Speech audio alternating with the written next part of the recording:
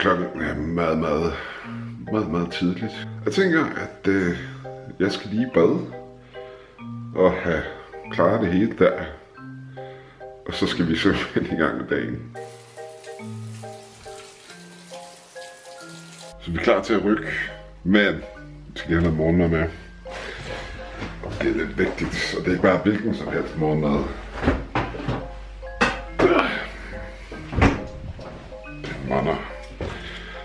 Der, så er vi klar i hvert fald. Og så kører vi.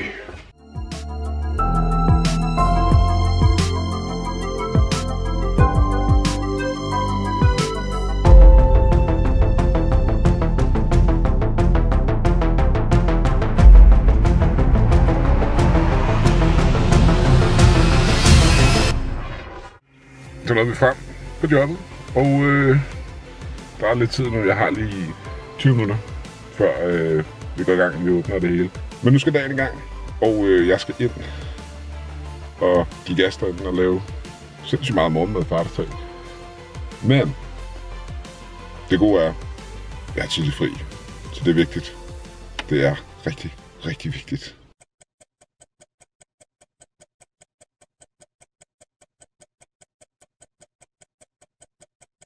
Så er tjenten fri, og det er bare fantastisk. Klokken er 10 formiddag. Nu skal du bare hjem. Skal der bare hygges, games og optages, og det er ro. Bare sidde og hygge, du ved. Det bliver pisse hyggeligt. Det gør det da, det gør det da. Selvfølgelig gør det da det. Jeg tror lige, vi skal ind og hente en monner på vejen. Det kunne faktisk være rigtig, rigtig lækkert lige at få en, øh, en grøn en af slagsen indenbords, når man kommer af efter sådan en lang arbejdsdag. Det gør vi lige.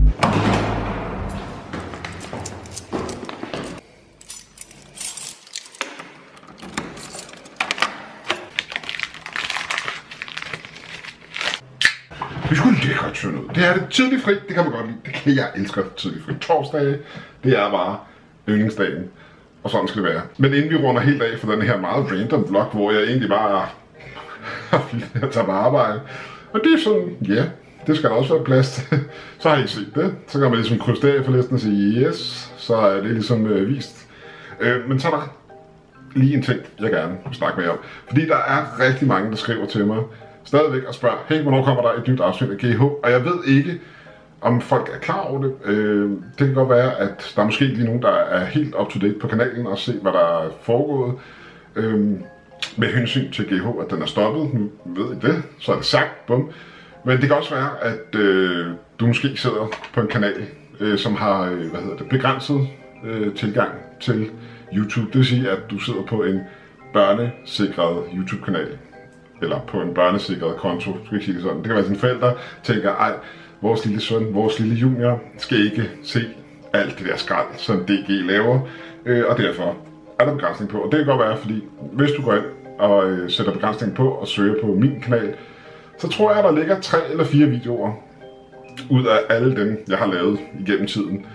Så det kan godt være, det er derfor. Det kan også være, at det, det er fordi, du ikke lige har trykket på klokken og sagt, hov, den skal jeg lige huske at klikke på, så øh, jeg får en lille en notifikation, når tingene popper op på kanalen, når der kommer en ny video. Det kan godt være, det er derfor. Men til alle jer, serien GHV5, den er altså stoppet, og det er efterhånden et stykke tid siden. Jeg skal nok lægge et link til playlisten nede under, så du kan gå ind og tjekke og se, om der er nogle afsnit, du eventuelt har misset, og så kan du altså gense dem derinde på den playliste. Men øh, det her, det var altså min lille random vlog for i dag. Jeg vil kaste mig over lidt uh, gaming og lidt uh, monner, og så vil jeg simpelthen bare sige, vi ses på grillen. Mit navn er DG. Hej hej.